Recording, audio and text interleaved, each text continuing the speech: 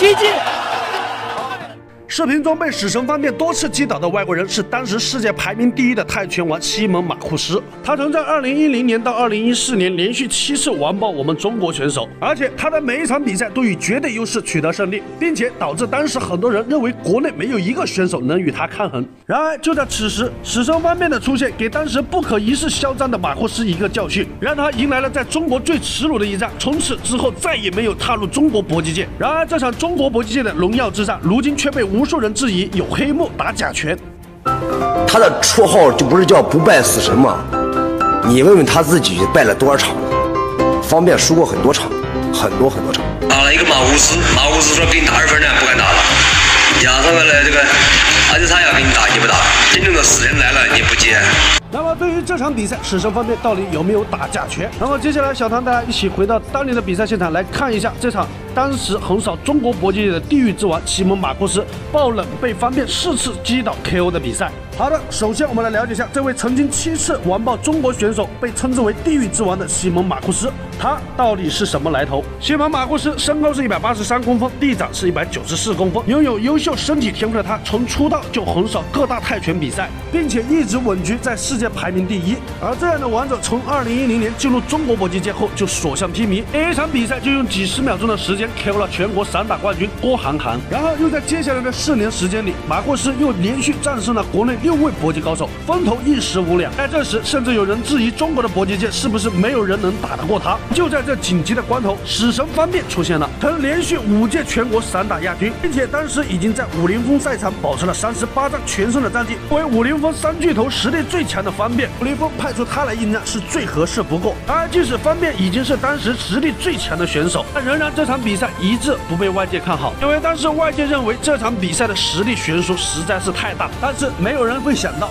方便在这场比赛给了马库斯一个终身难忘的回忆。那接下来，小唐就带一起回到当年的比赛现场，时间是二零一五年的一月三十一日，武林风全球功夫盛典上，三十二岁的死神方便终于迎来了他这位生涯中最强劲的对手。然而，当时他的对手马库斯已经是武林风世界冠军金腰带的拥有者。如果这场比赛再次输掉，不仅方便会失去自己的不败神话记录，更会让马库斯继续保持对中国选手全胜的战绩。好了，那么接下来，小唐就带一起回到比赛现场来观看这场超级精彩。的比赛。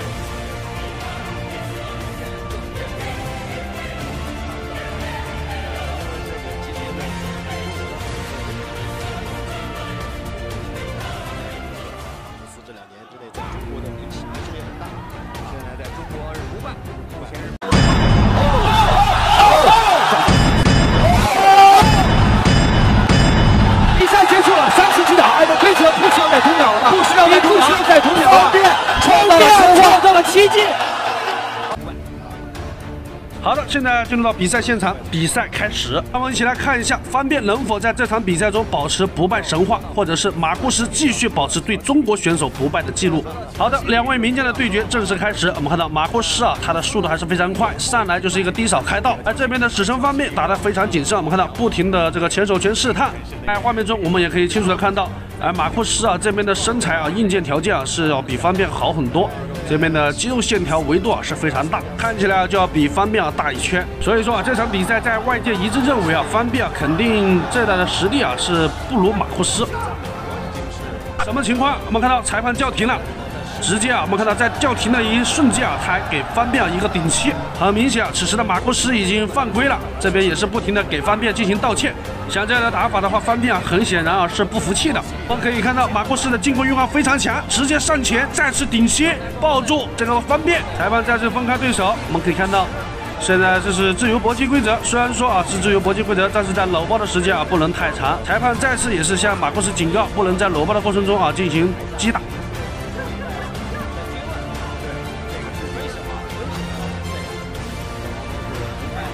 好，我们看到双电开始发起攻击，哇，后手摆拳，我们看到被马库斯直接给搂抱住。可以看到马库斯啊，他对方便的打法是非常的严谨啊，非常谨慎。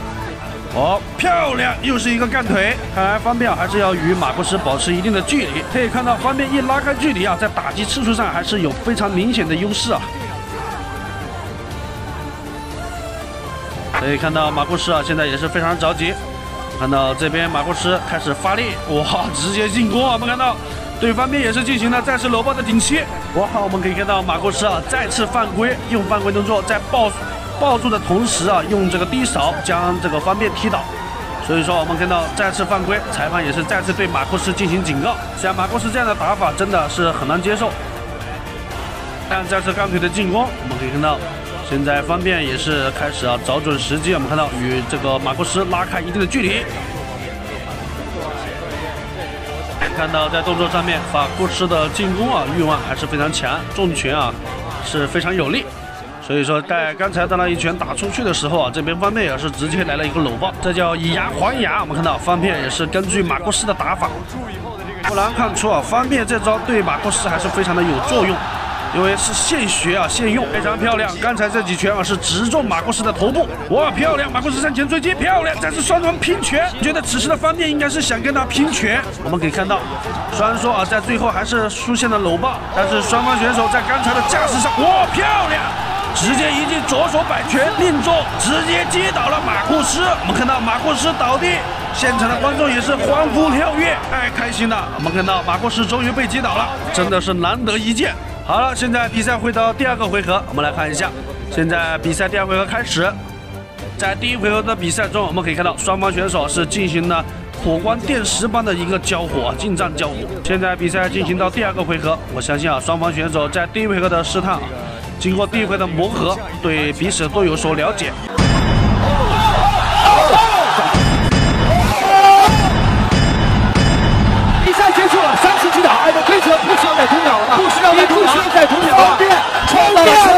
奇迹，可以看出方面在战术上有所调整，漂亮，前手刺拳，漂亮，又是一拳，直接打倒。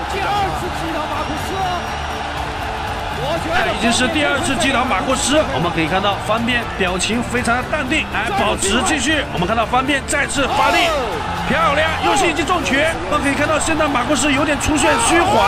漂亮漂亮！我们看到比赛结束了，比赛结束了。现在我们可以看到方便已经是再一次击倒对手，在这第二个回合已经两次击倒对手。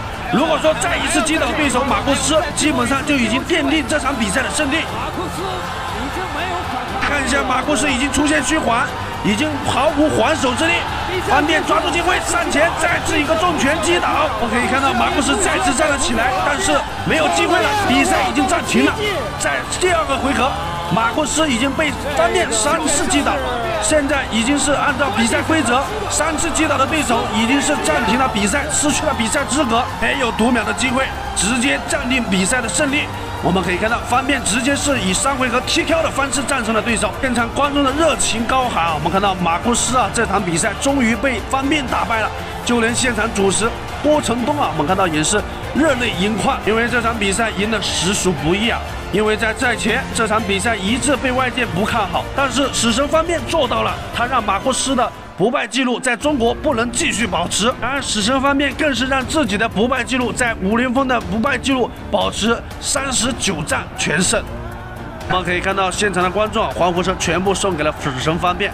这也是方便的成名之战，在武林风打的最精彩的一场比赛。而这场比赛过后，我们看到马库斯也是疯狂的在地面做着俯卧撑、跳跃式俯卧撑，展示自己背后还有非常强大的体能，还能支撑这场比赛。但是按照比赛的规则，马库斯已经输掉比赛。我们看到死神方面也是赢下了这场比赛，以 TQ 的方式战胜了对手。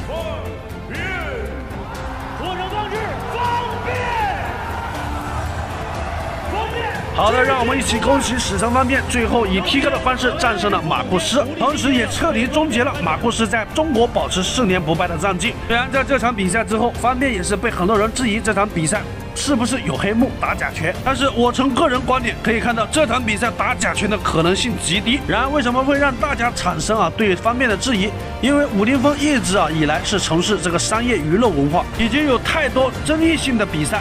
所以导致大部分观众对这场比赛还是有所质疑。至于视频前的你有什么看法，可以在评论区留言，我们一起讨论。好了，本期视频就到此结束，感谢各位全民以及观众的支持，我是贺小谭，我们下期视频再见。